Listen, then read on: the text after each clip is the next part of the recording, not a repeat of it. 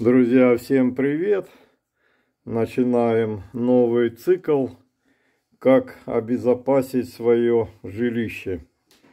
Так как мы живем в собственном доме, и сейчас будем заниматься оклейкой, оклейкой окон. Что нужно? Нужен скотч Почему скотч? Потому что через него будет э, проходить свет и все будет видно. Можно обычный скотч, можно вот такой вот пистолет, если у вас есть, если вы когда-то чем-то занимали ножницы и все.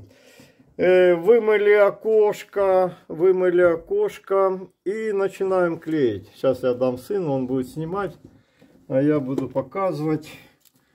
Значит, как как учат? Учат внахлёст. Делать внахлёст. И потом... И потом ведем. Значит, э, чем больше вы наклеите, тем будет лучше. Наискось, крест-накрест. Э, в общем, друзья, можно полностью, можно полностью наклеить как вы понимаете, да? И тогда уже в стекле, в стекле при взрыве будут только дырки. Так, я спешу, друзья. Как вы поняли, да, вот так мы клеим. Потом, что еще рекомендуют? Рекомендуют положить вот сюда тонкий пенопласт. Подай, пожалуйста, пенопласт, он лежит.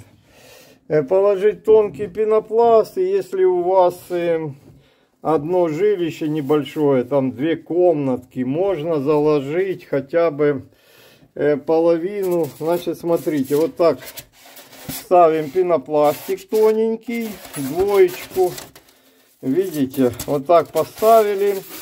И здесь, например, до половины окна человеческого роста, выше чуть-чуть человеческого роста, можно, если у вас э, широкий подоконник, можно заложить мешками с песком или с землей.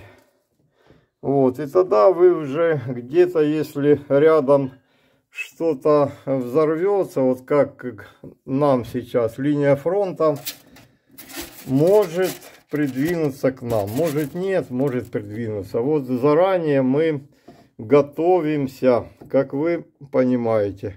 Если помог кому-то, кто скажет спасибо, всем пожалуйста. Друзья, будем снимать такие видео на тему безопасности